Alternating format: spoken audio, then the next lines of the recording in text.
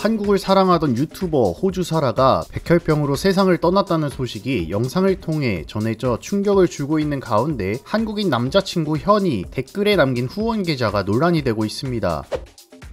지난 5일 유튜브 채널 호주 사라에서는 그녀의 사망 소식을 알리는 영상이 공개됐었죠. 사라의 한국인 남자친구 현은 사라는 제가 웃는 모습을 좋아하니까 최대한 안 울면서 소식을 전해드리겠다라며 호주 사라가 세상을 떠났다고 밝혔습니다. 그는 영상 내내 담담한 척 미소를 지었지만 눈시울이 여러 번 붉어지며 시청자들의 마음을 먹먹하게 만들었죠. 또한 호주 사라가 마지막으로 남긴 음성 메시지를 전하며 끝내 눈물을 흘리기도 했었습니다. 그는 당시 일주일 일도 견디지 못할 거라고 했는데 사라는 이 일이 되는 자정까지 우리의 곁에 있었다. 의사 선생님들도 기적이라고 했다. 라고 말했죠. 이어 거의 6달 동안 하루도 빠짐없이 사라랑 병원에서 함께했다. 그래도 사라와 제일 힘든 시간에 함께 있을 수 있어 좋았다라며 지금도 솔직히 심장이 뻥 뚫린 것 같다. 어떻게 혼자 숨 쉬어야 하는지 어떻게 살아야 될지도 모르겠다라고 말해 보는 이들을 함께 눈물 짓게 했습니다. 그런데 영상 마지막 그는 사라가 너무 많이 사랑받은 것